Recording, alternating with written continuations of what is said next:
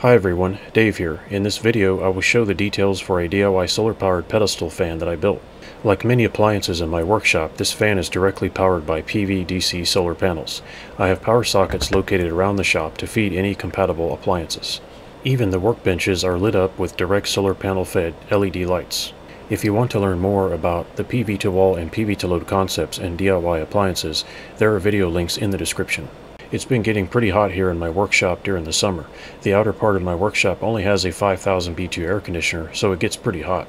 But the inner part of the workshop, I call it a cabin, has no air conditioning at all. This motivated me to dust off one of my old solar fan projects and get it finished. I literally built this fan around a block of leftover scrap wood. The block of wood mounts the motor, stand, and housing.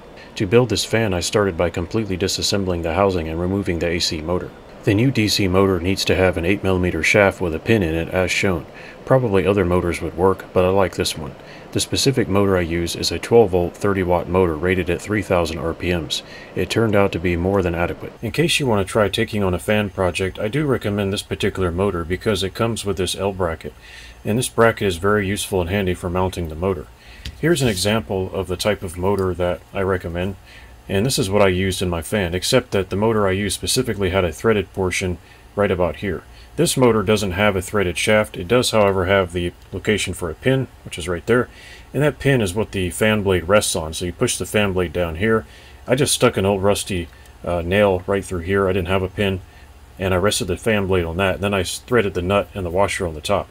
Basically, you need to use this bracket because the original fan is built around the actual motor, whereas when you take that motor out, the AC motor, there's nothing to build the fan around. So that's why I use a block of wood in this bracket, and using those two things, you can actually build the entire fan around the block of wood with the motor sitting on top. There's the specifications of the motor. This specific motor can actually run at 24 volts, but I will probably never do that. I don't need 7,000 RPMs. 1,000 to 3,000 RPMs is pretty decent for a fan motor, and even 1,000 RPM is going to move some air. Just in case you can't find it, I will put a link to the motor I use in the description. And just to be clear, even if you don't have this type of motor, as long as it has an 8mm shaft, you can probably make it work. Most fans that I found that are table fans or pedestal fans have an 8mm shaft. I'm sure there are exceptions, but every fan I've opened so far has an 8mm shaft. I built the entire fan around this scrap piece of wood. And I attached the front of the housing, which is right here. It's this part right here.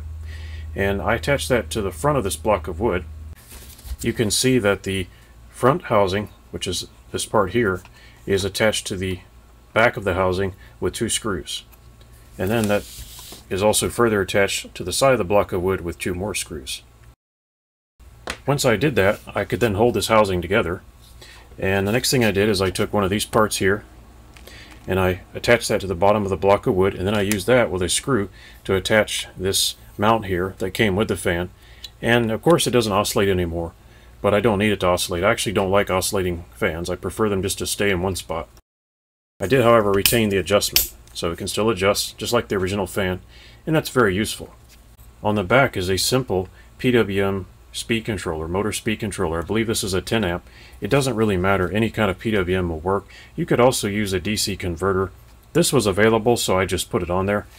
I mounted it on the back of the fan housing and there isn't really a lot of room inside the fan housing anyway and this way I can have access to it and maybe swap it out for something else.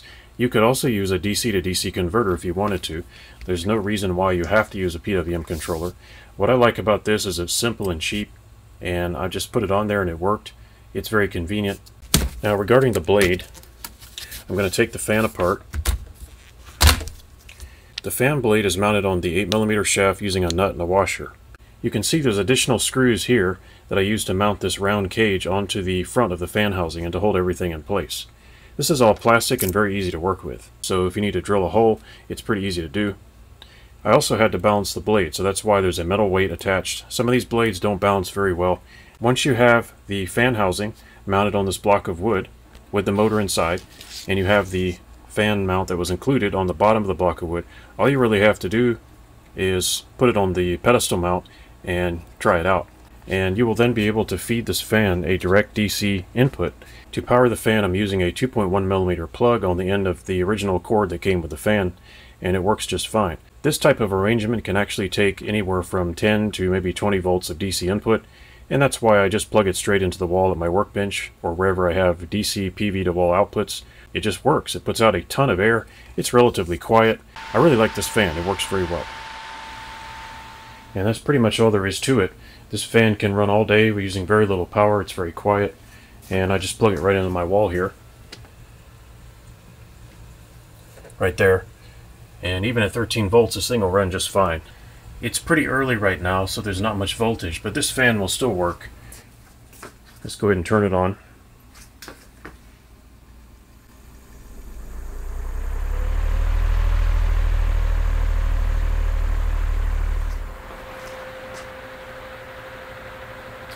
works very well.